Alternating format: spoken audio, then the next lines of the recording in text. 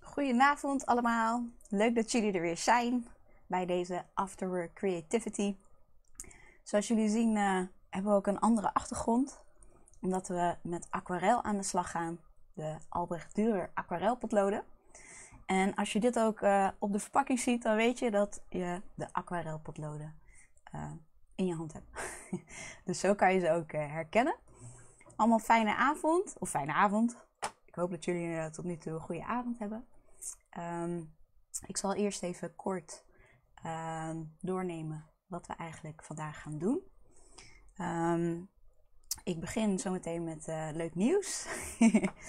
en daarna gaan we een klein stukje geschiedenis gaan we doornemen. Van ja, wat zijn die aquarelpotloden nou eigenlijk? En hoe komt het aan die naam? met een klein beetje informatie. Daarna gaan we verschillende techniekjes gaan we af. wat je bijvoorbeeld met die aquarelpotloden kunt doen. En um, ja, dan gaan we ook nog verschillende papiertjes gaan we nog even bekijken met structuurtjes en ook hoe je zelf je aquarelpapier op kunt spannen. En dan komen er nog setjes voorbij en dan uh, is het alweer het einde van de Afterwork Creativity. Um, ik wil eerst even nog iets kwijt. um, Misschien uh, hebben jullie in de comments wel eens uh, gelezen dat uh, Ronald hele leuke, lieve berichtjes allemaal stuurt. En dan misschien vragen jullie af, wie is die Ronald nou eigenlijk? Nou, dat is mijn moeder. mijn moeder die heeft geen eigen Facebook, dus die zit op die van haar man, Ronald. Dus allemaal groetjes aan mama Ronald. Dan weten jullie dat ook.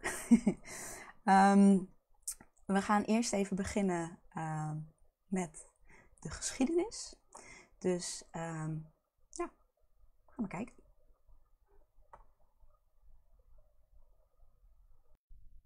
Graaf Anton Wolfgang lanceerde in 1980 de Albrecht Dürer aquarelpotloden. Waarom heten deze potloden eigenlijk Albrecht Dürer? Albrecht Dürer was een bekende kunstenaar uit de Renaissance. Hij was veel op reis en maakte aquareltekeningen van de dingen die hij onderweg tegenkwam, zoals dit landschap in aquarel, deze haas is ook in aquarel opgezet. En deze mooie vleugel. Albrecht Dürer was geboren in Duitsland Nuremberg. Dit is dichtbij het plaatsje Stein, waar de eerste generatie, Caspar Faber, in 1761 zijn werkplaats had geopend. Vol trots aan de Duitse geschiedenis, en natuurlijk omdat hij veel met aquarel bezig was, is zijn naam gelinkt aan de aquarelpotloden, inclusief zijn monogram.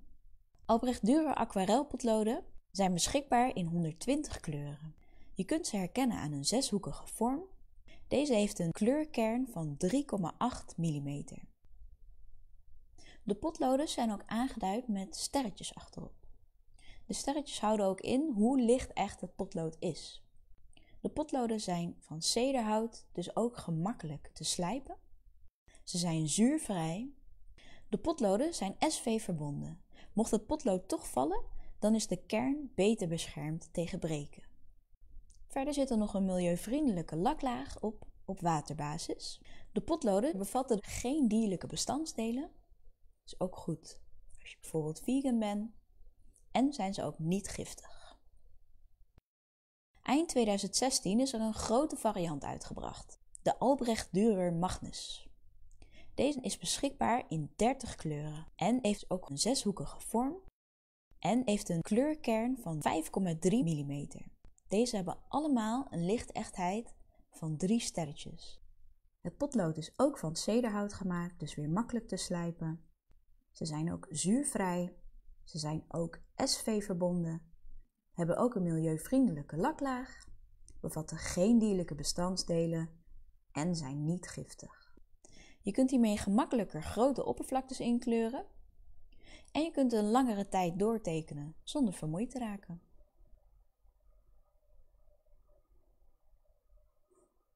Nou, dan weten jullie ook een beetje hoe dat zit met de Albrecht Dürer aquarelpotloden en waar die naam nou eigenlijk vandaan komt. Het is ook een hele toffe kunstenaar om op te zoeken. Hij heeft niet alleen met aquarel gewerkt, maar met ook heel veel andere materialen. Um, ik zal je ook even laten zien uh, wat je dus hiermee zou kunnen doen. Gaan we even naar mijn werkblad. Hier zie je ook al dat ik het, uh, het uh, werkblad, wat je dus kunt downloaden via de link die ook in de, in de chat staat. um, Eén ding is nog wel, ik heb dit op aquarelpapier geprint. Op schut aquarelpapier van 250 gram. Want dat uh, komt nog in mijn printer. En dan kan je dus ook al afbeeldingen op aquarelpapier printen. En zo uh, ja, daarmee aan de slag gaan. Maar wat kan je nou eigenlijk met die uh, aquarelpotloden? nou, het is heel erg leuk. Ik heb hier bijvoorbeeld mijn dummy. nou, je kan het aquarelpotlood kan je gebruiken gewoon als potlood. Dus je hoeft het niet per se met water te doen. Maar het leuke is, je hebt die keuze. Dus je hebt eigenlijk een, een 2 in 1. Um, nou, hier zie je ook, ik heb hier helemaal geen water bij gebruikt. Uh, dit is een uh, tekening van mijn kleine neefje die lekker in sneeuw aan het spelen was. En nou, je ziet zo, ik heb veel potlood gebruikt, maar ook met kleine accentjes zo kleurde eigenlijk ingegeven. En met aquarelpotloden hoef je niet heel veel water te gebruiken, waardoor je dit ook heel goed dus in je dummy kunt doen. En je ziet ook het papier, ja, het bobbelt niet. En ja, zo kan je dus toch leuke uh, accentjes daarmee geven. Nou, doe deze even dicht. uh, nou, ander voorbeeld bijvoorbeeld is deze haas. en ook nog deze vijgen waar we de volgende livestream mee aan de slag gaan. Dus als je het leuk vindt, dan zou ik zeggen ga zeker kijken. Um, gaan we even door naar de potloden. Um, we gebruiken deze kleuren. Ik zal mezelf even wegdoen, anders dan zit ik precies voor. um, nou, je ziet, uh, als je het potlood dus ook draait, zie je dus ook uh, ja, Weiss. Dat is de Duitse benaming en white Engels. Dus als je nog Duits en Engels wil leren, dan uh, kijk op de potloodjes, kan je mooie kleurtjes leren. de 8200 staat eigenlijk voor het aquarelpotlood cijfertje voor de Albrecht duurpotloden. En dan zie je nog 101 zie je erbij staan. En dat is de kleurcode. Dus 101 is bij Faber-Castell is dat altijd wit. En daarachter zie je nog die eh, sterretjes staan waar ik het net ook al over had. Uh, die sterretjes die geven dus de lichtechtheid aan. Um, normaal gesproken als je dus uh, nou ja, iets heel moois hebt gemaakt, je geeft het weg, die persoon hangt het in het zonlicht. Het zonlicht trekt heel langzaam ja, toch kleur uit je werk. En um, ja, met deze drie sterretjes geeft het dus aan dat je werk dus nou ja, ongeveer ligt ook aan het papier wat je gebruikt en omstandigheden. Maar 100 jaar ligt echt. Faber-Castell bestaat dit jaar ook 260 jaar. Dus uh, dat hebben ze goed allemaal uit kunnen testen. Dus moet je denken rond de 100 jaar. Je hebt dan ook twee sterretjes. Nou, zo denken ongeveer rond de 50 jaar. En sommige pigmenten zijn gewoon heel lastig te behouden. Dus dan moet je zo denken rond de 5 jaar voordat dat uh, uit je werk gaat, kan gaan trekken. Uh, we gebruiken dus het uh, witte potlood.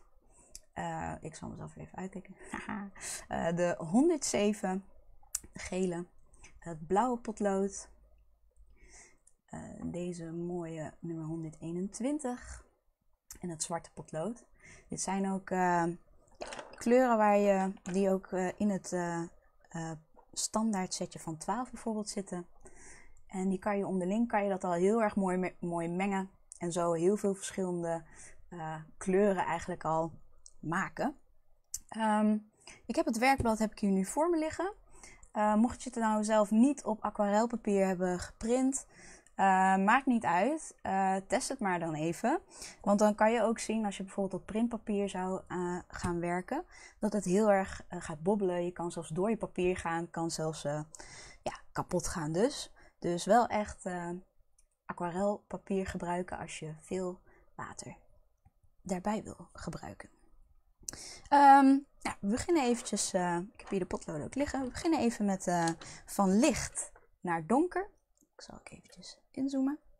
En het is ook zo, uh, deze livestream heeft een beetje vertraging. Um, dus mochten jullie vragen hebben, dan komt bij mij ietsjes later binnen. Ik zal zoveel mogelijk proberen jullie antwoorden of jullie te beantwoorden.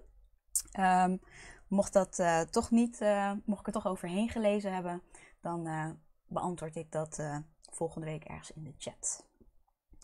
Ehm, nou, we gaan hier van, van licht naar donker. Ik heb het rode potlood heb ik vast. En met potlood is het zo, je kan dus heel lichtjes drukken. Je ziet ook, ik maak vaak kleine cirkelende bewegingjes. En met potlood heb je dus vaak um, dat je die structuur van het papier wel er doorheen ziet. Zoals je nu hier misschien ook kunt zien. Ik vul hem gewoon op. Het hoeft niet per se heel netjes. Nou, als je lichtjes drukt, is het heel licht.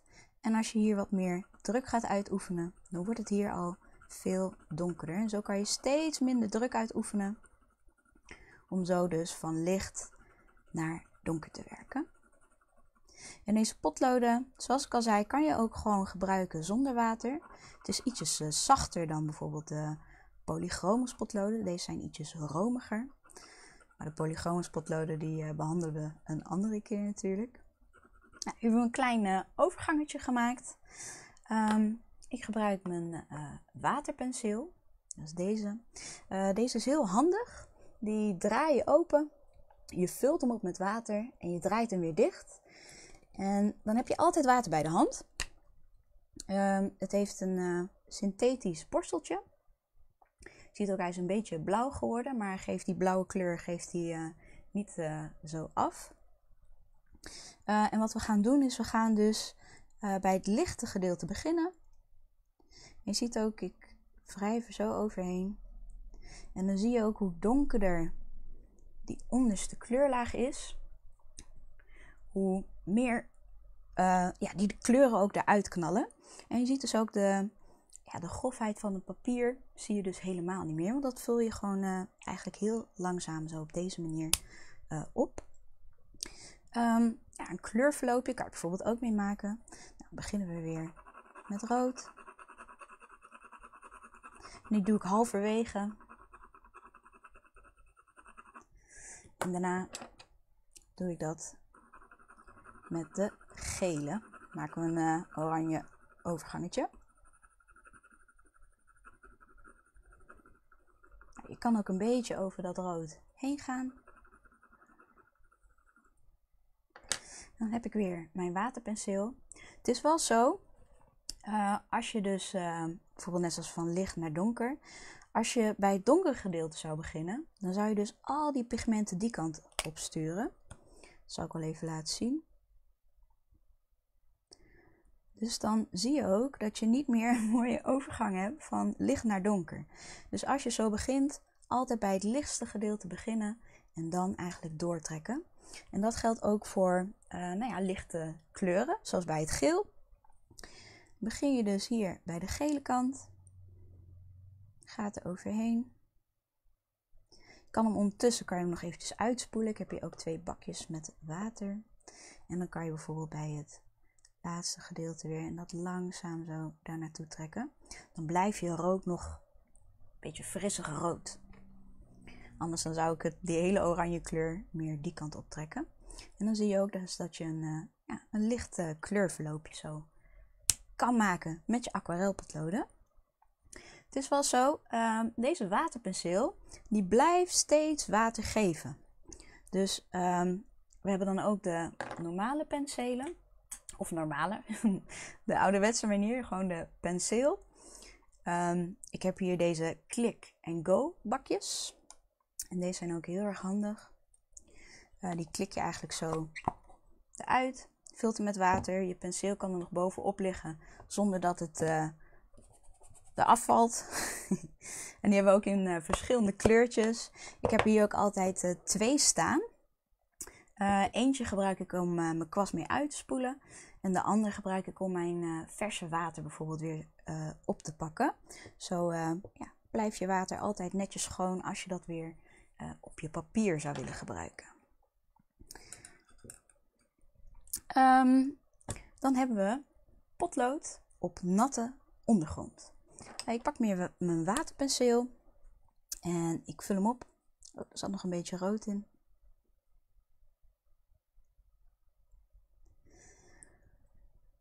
Als je ondergrond al nat is, dan pakken we bijvoorbeeld uh, deze mooie rode kleur. Als je ondergrond al nat is, dan zie je dus dat je uh, streepjes krijgt. Maar dit is een hele andere structuur. Als ik even inzoom, kan je dat ook wel zien. Dit is dan de normale streep. En dit is de streep als de ondergrond al nat is. En als ik hier nu met mijn waterperceel overheen ga, dan zie je ook dat die lijnen blijven staan. Ze vegen niet zo mooi uit als hier boven bij het begin. Dus stel je voor dat je iets donkerder wil maken en je gaat met je potlood overheen krassen, dan blijf je dus die uh, potloodstrepen zien. Maar het is wel een hele leuke techniek om bijvoorbeeld uh, wat strakkere lijnen te maken. Uh, wat je ook kan doen is je potlood, en dan bedoel ik alleen het stukje wat uitsteekt, dus niet het hout, maar om dat een klein beetje in het water te dippen. En dat doe ik even met een blauwe kleur. En als je potlood al nat is, dan gebeurt er nog iets anders extra's, want dan gaan je lijnen wat meer uh, uitvloeien. Zo heb je weer net een iets andere structuur om zo in te zetten. Je ziet dat het uh, veel meer uitvloeit dan wat het rooien in het begin deed. Wel altijd je potlood weer goed schoon en droog maken, anders dan blijft het uh, geactiveerd. en dan kan je potloodje wel een beetje, een beetje broos van worden en dan kan het uh, afbreken. Dus goed mogelijk altijd weer even uh, schoon en droog maken. Dan gaan we naar de volgende techniek en dat is de glaze. die vind ik zelf ook al wel heel erg leuk. We beginnen eigenlijk met één lichte laag en met uh, potlood is het gewoon uh, goed om ook licht te beginnen met aquarel. Kan altijd nog uh, donkerder maken, maar andersom is wel ietsjes lastiger. Dan pak ik weer mijn waterpenseel en dan activeer ik deze pigmenten. Nou, je ziet ook hoe fijn dit tot verf wordt gemaakt de aquarelpotloden zit dus een, uh, een bindmiddel wat dus uh, activeert met water, waardoor het heel mooi dus uh, oplost. Deze gaan we nu eventjes laten drogen. Want ik lees is dat je dus excuus, verschillende lagen over elkaar heen zet. Maar dan moet je vorige laag wel goed droog zijn. Dus deze laat ik nu eventjes drogen. Dan gaan we door naar de volgende. En dat is kleur lichter maken. Even kijken. Daarvoor uh, pak ik ook een, uh, een tissue erbij. Tissue of keukenrol is ook wel handig. Um, ja, maar het kan soms zijn dat je dus uh, nou, een te donkere kleur hebt gemaakt. Nou, stel je voor, je bent dus lekker aan het tekenen. En je hebt eigenlijk niet door dat je eigenlijk veel te veel pigment erop zet. En dan zie je ook, wow, dat is eigenlijk best wel heel intens al gelijk. En je wilt het toch wat meer uh, ja, lichter maken. Dan kan je dus of een droge penseel pakken en zo de kleur wegstrijken. Je kan het ook met een tissue bijvoorbeeld opnemen. Dus pak mijn tissue en je kan het dan zo voorzichtig nog wegtappen. Dus een tissue is altijd wel goed om bij de hand te hebben. Um, wat we ook nog hebben, is het witte potlood. De witte Albrecht Dürer. Nou is deze nu uh, ja, een beetje vochtig nog. Dus ik zei net, als je er zo overheen gaat, dan blijven die strepen zien. Dus we laten dit ook even drogen. En daarna laat ik dus zien uh, hoe je deze ook licht kunt maken met behulp van het witte potlood. Dan gaan we naar hoe maken we het eigenlijk weer donkerder? Nou, brengen we weer eventjes een laagje aan. Doen we eventjes een klein beetje. Dit is al genoeg om het hele vlak eigenlijk mee op te vullen. Ik kan het zo heel mooi zo doortrekken. Nou, het is uh, nu best wel licht aan die kant. Nou, dus niet met je potlood zo, huppa, erin. Want dan uh, krijg je dus die strepen wat je niet meer weg kunt werken. Uh, wat je kan doen is uh, of een klein uh, paletje even maken.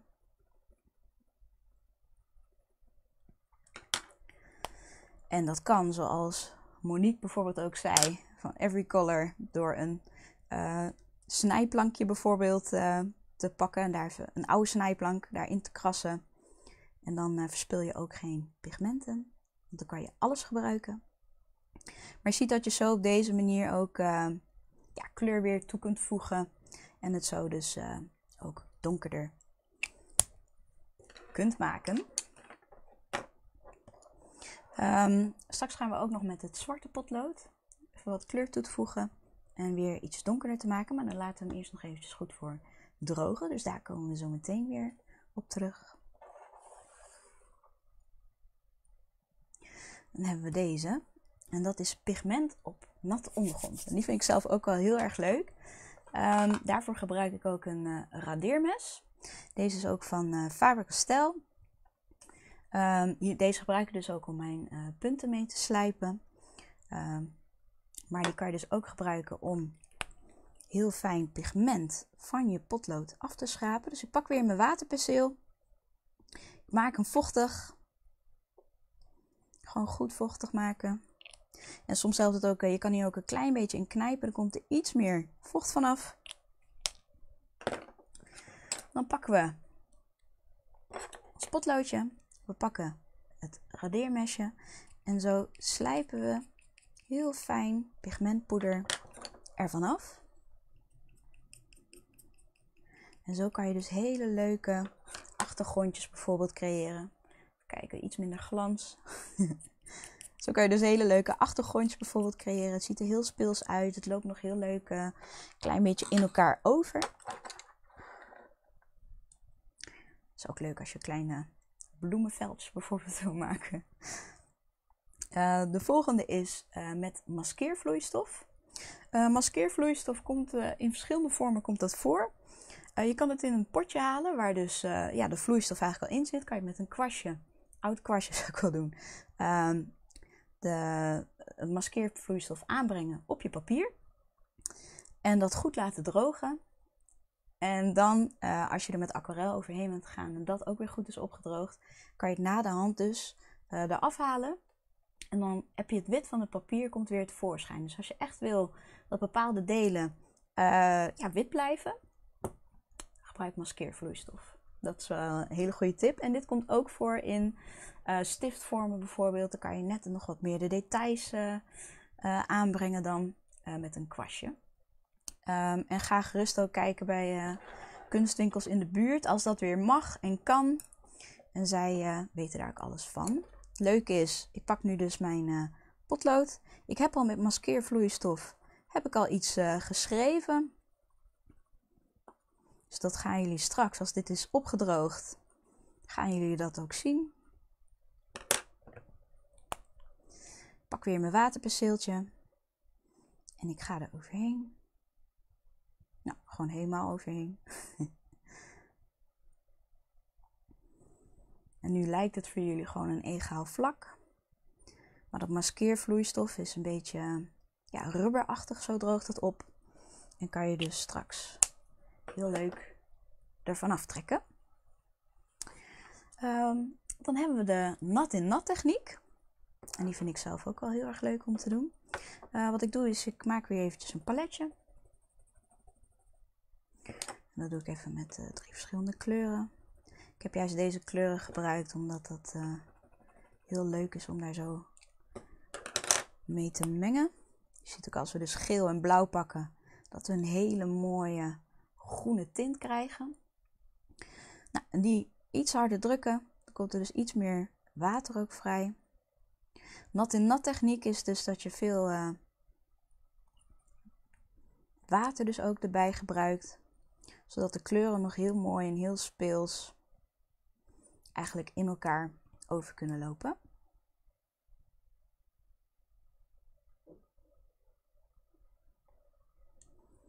En dat is het leuke. Het is lekker heel onvoorspelbaar. Je weet niet hoe het eruit komt te zien. Uiteindelijk. En zo kan je dat heel leuk met elkaar combineren. En het is ook wel goed om hem van tevoren even nat te maken. Dan loopt het nog mooier in elkaar over.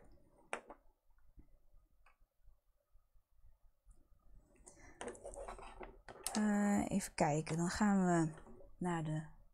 Eerst even naar spatten met de penseel. um, Je kan dus ook met een penseel over je potlood strijken. Zorg wel altijd goed dat je het altijd weer goed droog maakt.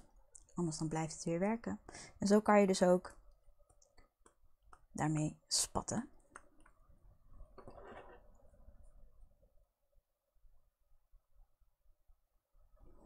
Zo kan je dus verschillende kleurtjes gebruiken. En heb je weer een heel ander effect zo daarbij in. Dan hebben we ook nog de droge penseelstreken. En daarbij is het beste om de normale kwast ook uh, bij te gebruiken. Uh, deze komt van de rode lijn van Faber-Castell. We hebben die ook in hele mooie uh, pasteltintjes, zoals je hier kunt zien.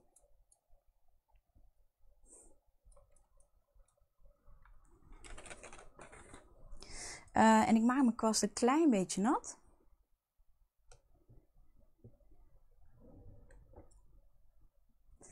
En dan maak ik weer eventjes een paletje.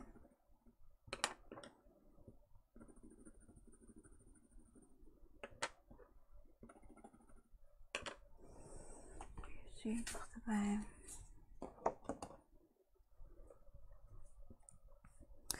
Um, en dan ga ik dus over het pigment. En doordat ik nu dus niet zoveel uh, water heb gepakt, heb dus veel drogere streken. Dus niet dat het ook zo uitloopt. En zo kan je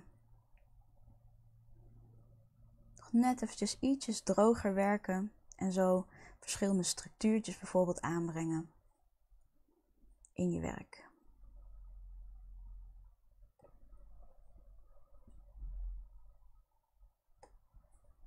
Nou, die spoel ik weer even uit.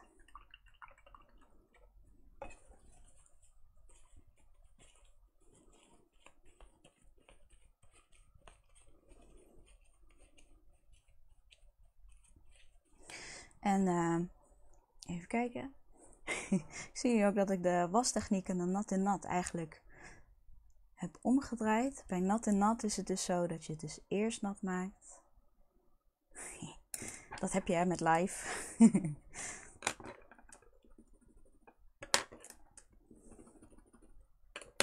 en het dan zo met je penseel dus weer op kunt pakken. En dan zie je dus dat het heel mooi al gelijk uitvloeit. En dat is het leuke ook van aquarel. Deze verschillende techniekjes. Je weet niet precies hoe het gaat lopen, maar je krijgt wel hele mooie en leuke effectjes daarmee. Die je dus zo in kunt zetten. Dan gaan we even naar het grote vlak. Dat is vlak waar zout ook in wordt gebruikt. Uh, deze vul ik even op met de Magnus. En als ik ze naast elkaar houd, jullie hebben het net al kunnen zien, ja, dan zie je echt dat deze veel groter lood heeft. Waardoor je echt uh, ja, wat gemakkelijker die grote vlakken ook op kunt zetten.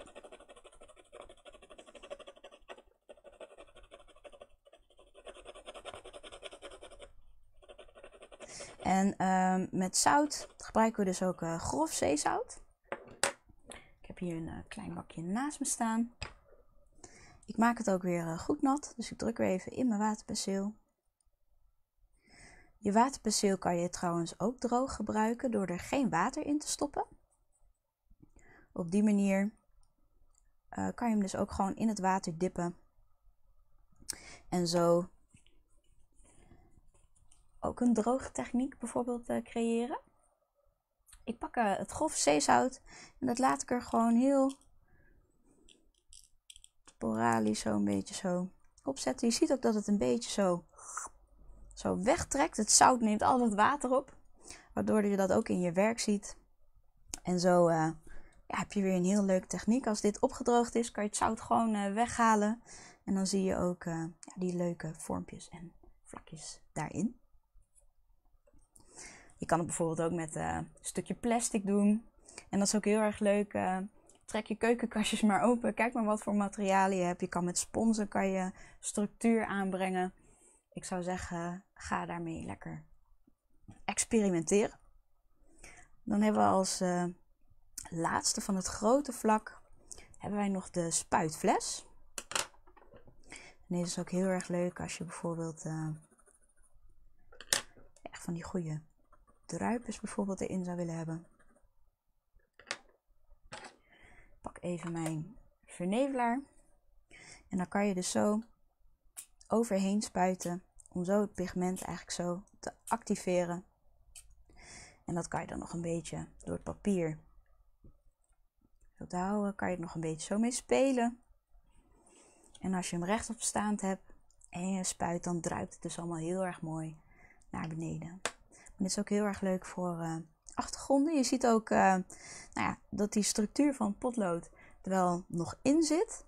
En daarom als je met een penseel kleine cirkelende bewegingjes maakt, dan trek je dat heel mooi, uh, ja eigenlijk egaal. Maar als je het zo laat, krijg je dus een hele mooie structuur nog erin.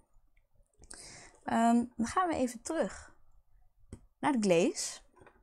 Wat we gaan doen is we gaan een tweede laag overheen doen. Het is nu al wel enigszins goed opgedroogd.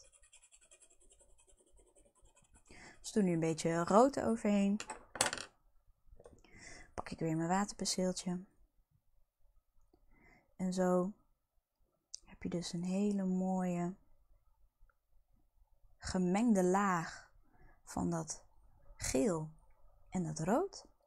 Je ziet ook, dit is de normale kleur als je die zo zou gebruiken. zo kan je dus laagje over laagje kan je dus aanbrengen. Ik ga straks nog wel met een eh, blauwe kleur eroverheen, maar dan moet die wel weer eerst goed opgedroogd zijn. Uh, dan gaan we even naar kleur lichter maken. Daar pakken we dus het uh, witte aquarelpotlood voor. Je kan er dus met wit overheen. je hoeft dat ook niet met water eventueel te activeren. Ik zal nog een klein stukje hier doen. Dan zie je ook dat je wel wat witte gedeeltes wel weer terugkrijgt.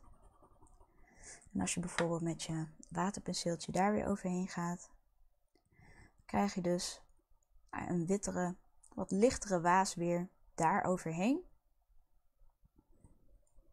En zo kan je bijvoorbeeld dus ook je kleuren, als je bijvoorbeeld een paletje hebt, kan je dat met wit gebruiken. Een klein beetje blauw. Dit is de normale blauwe kleur.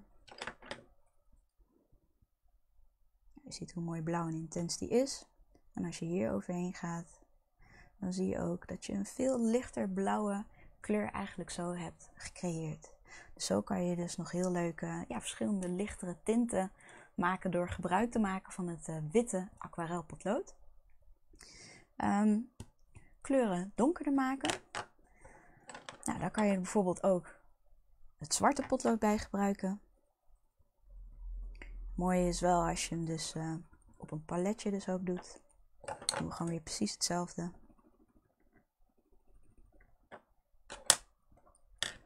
Als ik hier nu overheen ga, zie je ook dat je dus een donkere kleur krijgt van het rode. En dit is de normale rode kleur. En dit is hem dus als je hem donkerder maakt. Dus zo kan je dus zelf bepalen van, hé, hey, nou ja, hij mag toch eigenlijk toch wel weer meer, iets meer rood erbij hebben. Nou, dan pak je wat meer rood erbij. En zo heb je toch wel wat meer. Dat je die mooie kleurtinten zo in kunt zetten.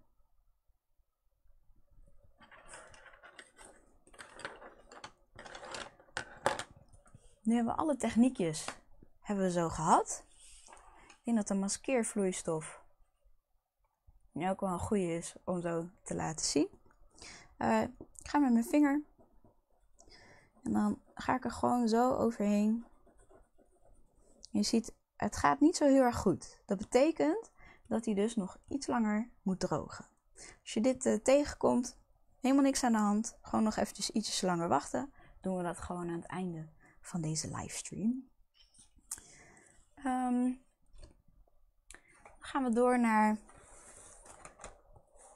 zo naar uh, verschillende papiertjes en het opspannen. Uh, in het werkboekje zit ook een, uh, een kleine kleurenkaart. Die kan je dus ook downloaden en zelf inkleuren. Dan zie je ook echt alle verschillende kleuren. Mocht je dat hebben, is wel heel leuk om zo'n overzichtje te hebben. Kan je gewoon downloaden en uitprinten. Ik zou ook op aquarelpapier uitprinten, dan komt het toch het mooiste naar boven. En dat hebben we ook voor de Albrecht Dürer Magnus. Met alle 30 verschillende kleurtjes. Dat je een leuke overzichtje hebt. Dus download die ook. Dan hebben we eigenlijk ook nog uh, ja, allemaal verschillende soorten aquarelpapier. Papier is natuurlijk ook weer iets heel persoonlijks. Um, daarom zou ik ook uh, aanraden om gewoon zoveel mogelijk verschillende soorten ook uit te testen. Uh, we hebben papier met wat meer een, een structuur. Deze bijvoorbeeld van Kangaro. Als ik mijn potlood pak. Ik zal even inzoomen. Misschien dat je het nog een beetje kunt zien. Maar er zit hier dus een hele goede structuur zit erop. Het is ook wel heel fijn als je toch wat meer pigmenten af wilt nemen, doen we even een, een heel simpel bloemetje even maken. Gewoon om te laten zien wat het doet. En je ziet goed al die ribbellijntjes ertussen. Veel mensen houden van heel glad papier. Dat is als je ja, vooral uh, heel glad eigenlijk wil werken, dan zou ik wel wat gladder aquarelpapier aanraden. En dat is dan vaak ook de hot pressed. Dan moet je ook een beetje denken aan een uh, strijkbout eigenlijk als het ware. Die uh, maakt het gewoon heel mooi en heel glad. En deze heeft wat meer een structuurtje. Ik vind dat zelf wel heel erg leuk, want dan kan je dat structuurtje bijvoorbeeld ook nog gebruiken als je bijvoorbeeld met je potloden eroverheen gaat. Als je sommige gedeeltes toch niet ingekleurd of met aquarel wilt hebben, heb je toch nog dat leuke structuurtje eigenlijk erin zitten. Maar dat zijn uh, persoonlijke voorkeuren natuurlijk. Er staat ook uh, ja, veel gladder papier, zoals dit is bijvoorbeeld de Harmony. dit is ook 300 grams. En deze is heel erg glad. Als ik hier met mijn potlood overheen ga, dan zie je ook helemaal geen verschil in dat er lijntjes in komen. En het is ook heel fijn om dit zo op deze manier bijvoorbeeld weer weg te trekken. En zo heb je ja, heel veel verschillende merken. Je hebt ook op uh, cellulose uh, aquarelpapier. En je hebt met katoen. En katoen uh, kan ook wat meer water ook aan in plaats van cellulose. dus als je veel met water wil gaan werken, zou ik toch wel katoenpapier aanraden die kan gewoon veel meer hebben. En dit is bijvoorbeeld uh, eh, 100% katoenpapier. En dit is de Grain Thin. En deze is cold pressed. En dat houdt dus in dat je dus wat meer structuur ook in je papier hebt. Dus zo kan je dat ook uh, ja, onderscheiden. En hier zie je ook dat deze dus ja, veel meer ook weer structuur heeft dan die andere. Die andere was veel gladder weer. Dat is eigenlijk weer precies hetzelfde. Er blijft dus meer pigment achter hangen. En dat zie je ook als je zo je werk eigenlijk dus opzet. Maar met aquarel is het zo, als je wel weer eroverheen gaat, je vult het wel ja, heel mooi weer op. En dan hebben we bijvoorbeeld ook nog uh, schutpapier deze. Ja, deze is de. Uh, je hebt verschillende gradaties in papier. Je hebt de kunstenaarskwaliteit en meer de hobbymatige kwaliteit. Beetje zoals uh, wat wij ook hebben met Faber-Castell. We hebben natuurlijk we hebben de rode lijn. Dat is uh, ja, meer de kinderlijn. Daar begin je eigenlijk mee als klein kind. Daarna ga je dan naar de blauwe lijn. Dat is ook meer ja, de hobbymatige kant. En dan heb je de groene lijn. En dat is meer echt die kunstenaarskwaliteit. Dus dan weten jullie ook een beetje verschil in die gradaties. En met papier is dat precies hetzelfde. Dit is dan de uh, ja, meer kwaliteit. Maar ook wel heel fijn om mee te werken. Dit is ook hetzelfde papier wat ik dus gebruikt heb om uh, ja, die voorbeeldjes uh, op te zetten. Wat we net gedaan hebben. Deze. Maar je hebt dit dus ook in nou iets hogere kwaliteit. En dan zie je ook, bijvoorbeeld bij dit blok, deze is helemaal verlijmd aan de zijkant. Dus er zit een lijmlaag Wat ervoor zorgt dat het papier uh, strak blijft als je met, veel met water eroverheen gaat. Het kan wel een beetje gaan bobbelen, uh, maar als het opdroogt dan uh, trekt het wel weer strak. Dan vind ik zelf het eigenlijk altijd wel fijn om papier eigenlijk op te spannen. En dat ga ik jullie nu ook dus laten zien. Hoe je dat kunt doen.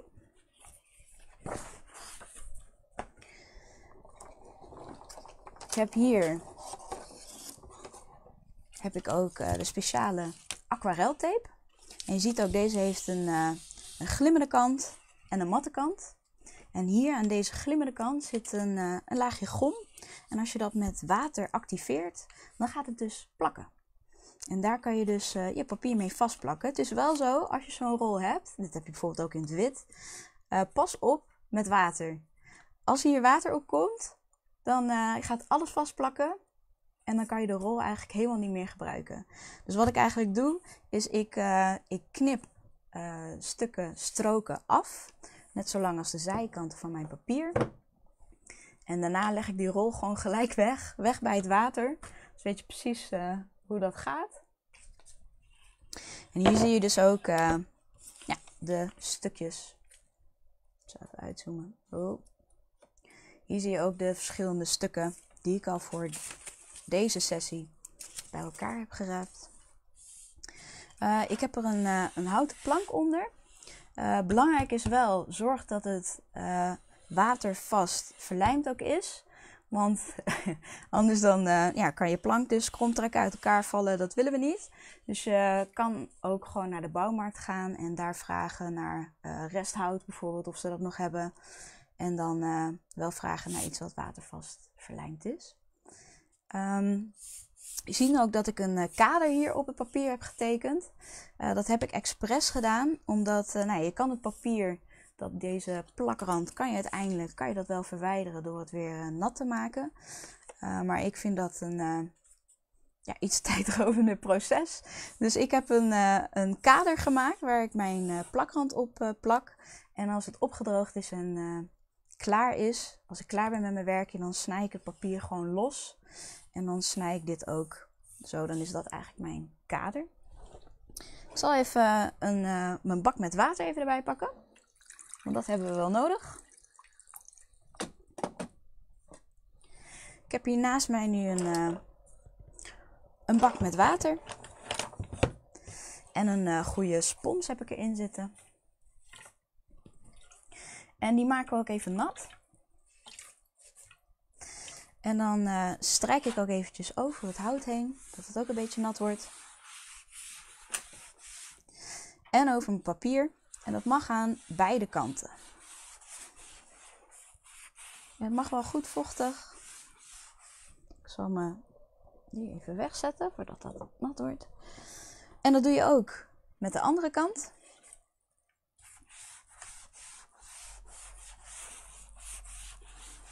Zo. Dan draaien we deze even om, zodat ik precies zie waar mijn kader zit. Dan pak ik mijn gomvelletje. Je weet, de glimmende, glimmende kant is de plakkerand. Die uh, dep ik even nat. En best is wel uh, om lauwwarm water daarvoor te gebruiken. Die tip heb ik ook gekregen van, uh, van Schepping, een kunstwinkel in uh, Zwolle. Of in Zwolle, in Zutphen. Even goed ook uh, aanstrijken. En dat is het fijn ook als je echt iets niet weet of je komt ergens niet uit. Als het weer kan, ga dan langs de kunstwinkel of bel ze even op om met vragen. zij kunnen je echt met alles verder helpen. Dat doen we dus ook bij de andere kant. Ik hou gewoon border hou ik aan. En de andere strook ook. Gewoon goed nat maken. Niet te nat, anders dan uh, plakt het niet. En het belangrijkste is ook, je plank moet niet uh, gelakt zijn. Want dan blijft het dus ook uh, ja, niet goed hechten. Dus wel gewoon een, een blanco plank gebruiken. Laatste. Die zetten we nu helemaal vast. Het kan wel zijn in dit proces dat je papier een beetje kan gaan bollen. Misschien dat gebeurt hier ook een beetje. Maar zodra dit uh, opdroogt, dan trekt het weer helemaal strak. Ik ga nog één keer met uh, nat spons nog zachtjes eroverheen. Nog even goed de randjes even aan te drukken. Overtollige water een beetje wegtrekken van je papier. En dit laat je dus uh, eigenlijk het beste gewoon uh, de hele nacht drogen. Wel plat. Dan droogt je plaat dus uh, evenwijdig droogt die op. En ja, dan is die helemaal strak. En als je dus water gebruikt, nou net zoals bij deze bijvoorbeeld, wat ik net gebruikt heb. Je ziet dat gaat, ik weet niet goed of je het ziet, misschien de achterkant. Je ziet het gaat helemaal bobbelen. En met water gaat het dan ja, toch vloeien naar de kant waar geen bobbel zit. of juist een heuvel. En uh, ja, dat wil je niet. Je wil dat je papier eigenlijk gewoon zo strak mogelijk is. Bij kunstwinkels kan je dus ook losse velletjes aquarelpapier bijvoorbeeld halen. En um, ja, die kan je gewoon in stukken snijden en dan zo opspannen.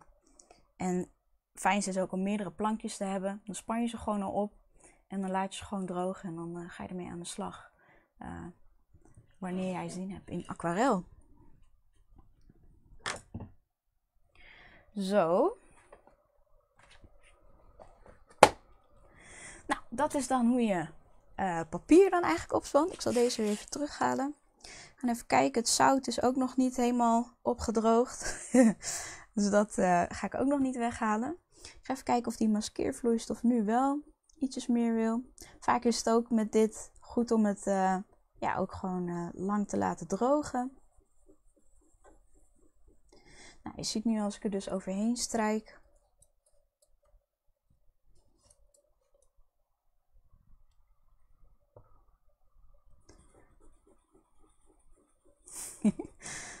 Dat is de boodschap in maskeervloeistof zo tevoorschijn komt. Je ziet, het blijft nog wel een beetje zitten, maar dat komt omdat ik gewoon niet lang genoeg heb gewacht. En zo uh, ja, kan je dat witte van je papier, kan je toch weer heel leuk zo terughalen. Nou, dat was uh, de verschillende techniekjes wat je dus kunt doen met je aquarelpotlood. Zo. Dan um, wil ik alleen nog zeggen dat wij nog een hele leuke winactie ook nog hebben. Tadaa, ik zal hem even laten zien. Want dat is deze mooie rol met 18 potloden van uh, de Albrecht Dürer Magnus zitten daarin. En daar zit ook een, uh, een waterpenseel bij in. Dat is heel fijn. Dus kan je oprollen op pad en gewoon lekker meenemen. Je hebt altijd uh, je aquarel bij de hand. Belangrijk is wel delen openbaar. Dat is wel één voorwaarde. Dan uh, maken we de volgende livestream maken bekend wie deze rol gaat winnen. En dat doen we gewoon precies dezelfde manier als de vorige keer. Gaan we weer loodjes trekken. Dus hou dat in de gaten. Dan uh, wil ik als laatste nog eventjes de verschillende uh, setjes laten zien van de potloden. Zodat jullie ook weten ja, wat wij eigenlijk in ons assortiment hebben. De Albrecht Dürer potloden zijn te verkrijgen in de volgende setjes. Er zijn metalen etuis verkrijgbaar in een set van 12.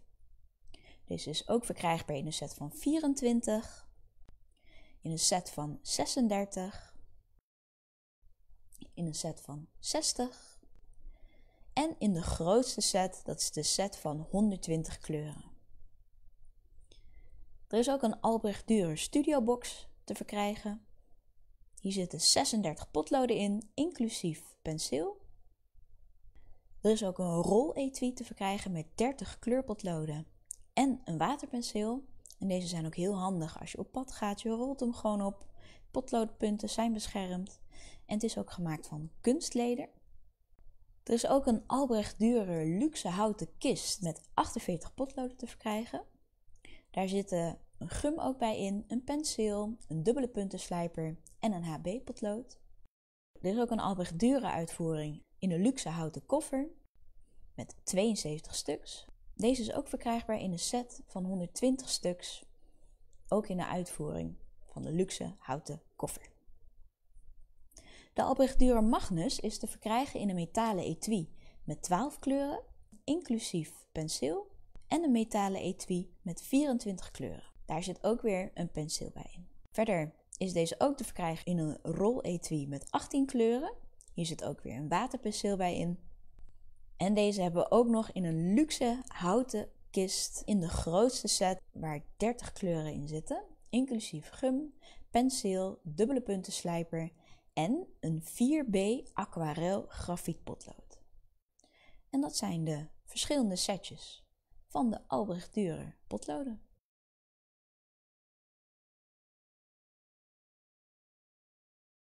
Wel mijn geluid aan. dat is wel om te smullen, toch? Al die verschillende setjes zo om te zien. Ehm, nou, dan weten jullie ook uh, ja, wat wij allemaal voor verschillende mooie materialen en kisten wij uh, in ons assortiment hebben. Ik uh, had niet echt opgelet naar de chat, excuses. Maar ik zie nog een paar verschillende vragen nog hier tussen staan. Even kijken, wat is het verschil tussen aquarelpapier en ecolinepapier? Zou ik je zelf eigenlijk niet kunnen zeggen. Ik heb niet, nooit echt ecolinepapier uh, gebruikt. Um, maar dat is wel iets wat ik uh, eventjes kan onderzoeken. En anders uh, vraag het aan je kunstwinkel. Dat is sowieso wel goed. Als je informatie ergens vandaan moet trekken, die kunnen je sowieso helpen. Even kijken. Can you print in any paper? I mean watercolor paper. Um, of je kan printen op al het soort aquarelpapier. Nou, aquarelpapier is best wel dik. Uh, of tenminste, uh, komt ook voor in best wel uh, hoge diktes. Hoe dikker je papier is, des te nou ja, rechter die ook blijft. Um, het is wel zo, mijn printer die kan geen 300 gram printen. Vandaar dat ik ook voor schutpapier heb gekozen. Dat is 250 grams. Dus zolang mijn aquarelpapier 250 grams is, kan ik gewoon op aquarelpapier eigenlijk ook wel printen. Uh, mocht je daartoe niet in staat zijn, er bestaan ook uh, ja, overtrek grafietvellen. Een soort vergelijkbaar met carbonpapier, maar dan met grafiet. Dus dan kan je bijvoorbeeld ook iets uitprinten en dat daar heel zachtjes overheen tekenen. En dan heb je het ook op je, je aquarelvelletje. Dus dan, dat gebruik ik ook veel bij meer dan 300 grams, want dat past niet in mijn printer. Um, ja, mocht je toch ook uh, zoiets hebben van hé, hey, het, bobbelt toch nog wel. Um, en je bent klaar met je werk. Uh, goede tip is ook nog, je kan het papiertje even omdraaien. Pak je weer je spons, maak je de achterkant een beetje vochtig. En dat laat je dan opdrogen tussen uh, je dikke boeken. en dan trekt het enigszins toch nog wel weer goed, goed recht. Even kijken of er nog meer vragen tussen zaten filmpje herbekijken. Ja, het filmpje is altijd gewoon weer terug te bekijken. En um, ja, ook alle voorgaande livestreams, die staan er gewoon op. Dus uh, heb je nog iets gemist? Kijk het vooral terug. Ik zie wel van uh, Mare, oeh, die rol heerlijk. Kan niet zonder meer, dat geloof ik. Ja, het is ook een heel mooi iets. Dus ik zou zeggen, deel en like deze livestream. Dan uh, zie ik verder ook niet echt meer vragen ertussen. Als ik toch iets heb gemist, ik ga het uh, later nog wel beantwoorden. Mama Ronald zegt goed gedaan, lieverd. Dankjewel, mams. Dikke kus. Nou, dan wil ik jullie allemaal weer heel erg bedanken voor het meekijken. En um, ja, uh, volgende livestream gaan we dus aan de slag met die leuke vijgen. vijgen. Dus uh, ik zou zeggen, doe lekker mee. Fijne avond allemaal.